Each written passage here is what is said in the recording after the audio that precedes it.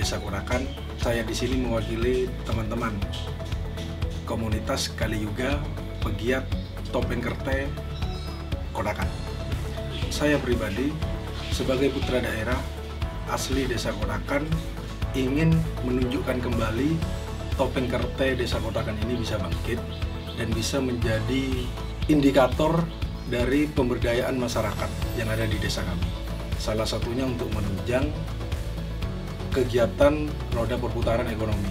Kami memberikan terobosan, kami bekerja sama dengan rekan-rekan dari Universitas Jember mengadakan pelatihan serta pembinaan dari narasumber tentang bagaimana produksi serta pemasaran topeng kerte, khususnya topeng kerte Desa Kurakan.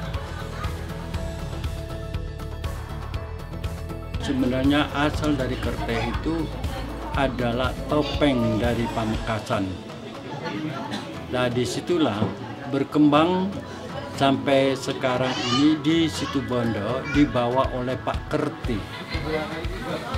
Sedangkan di Madura sendiri ada dua aliran yaitu di daerah Salopeng dan uh, Kalianget. Sedangkan situ Bondo itu mengambil aliran daripada uh, Kalianget. Karena di situ perbedaannya sangat berbeda sekali antara Kalianget dan Salopeng.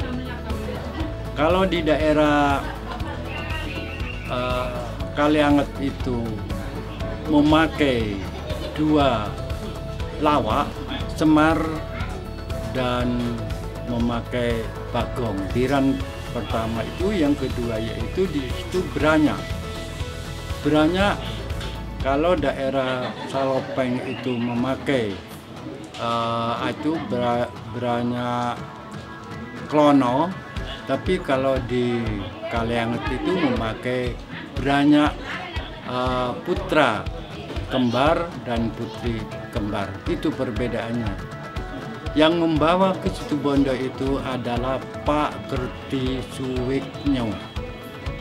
Karena itu setelah meninggal Pak Kerti itu di bahasa Madurakan karena Pak Kerti itu ada peranakan Jawanya di apa itu di bahasa Madurakan menjadi Pak Kerte.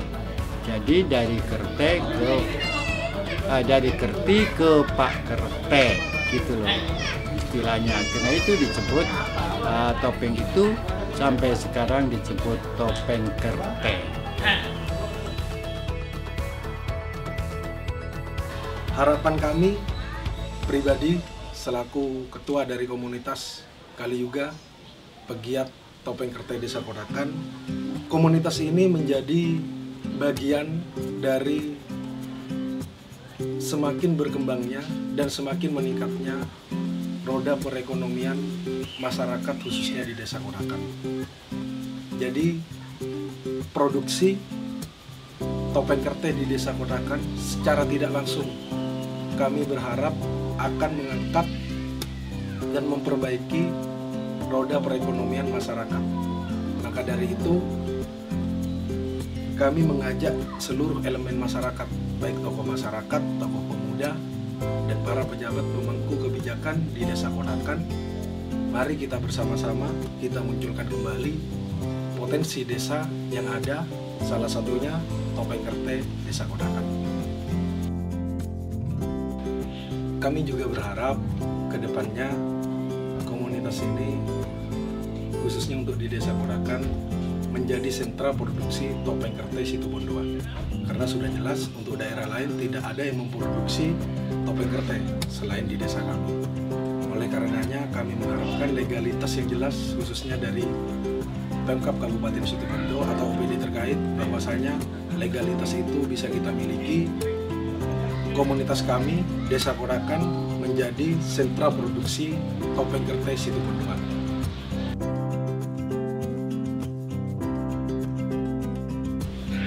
Topeng Kerte Desa Konakan kami harapkan menjadi bagian dari konservasi budaya dan kesenian yang ada di situ Bondo.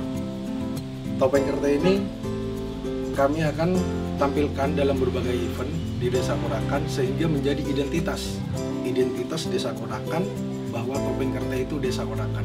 Secara tidak langsung akan menjadi identitas murni asli Kabupaten Situbondo, khususnya untuk desa Kodakan. Jadi salam budaya Topeng Kerte. Mari bagi anak-anak muda yang saya cintai, cobalah ditelaah betul-betul. Marilah kembangkan betul dengan pakem yang baik, yaitu pakem yang betul juga. Supaya kita itu tidak kehilangan seni. Nanti diakui orang lagi seperti uh, seni-seni Indonesia ini banyak diganti orang. Alhamdulillah pada hari ini kita melaksanakan kegiatan ini yang harapan kami termasuk pemerintah desa mulai dari dusun eh, aparatur pemerintah memang seperti ini permintaannya. Alhamdulillah sekarang ini terlaksana. Mudah-mudahan eh, topik ini yang ada di desa Kotakan menjadi eh, perunggulan desa kami dan mudah-mudahan ke depan desa Kotakan ini eh, adanya kegiatan yang kita laksanakan pada hari ini mudah-mudahan seterusnya jadi eh, produk unggulan di desa kami.